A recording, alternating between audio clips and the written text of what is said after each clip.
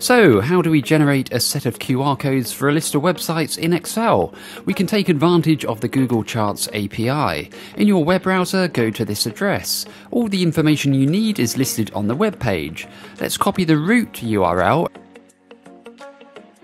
and paste it in the image function's first argument wrapped inside quotation marks. At this stage, the, the URL doesn't have any parameters, so it won't work. There are three required parameters we must add to the end of the URL.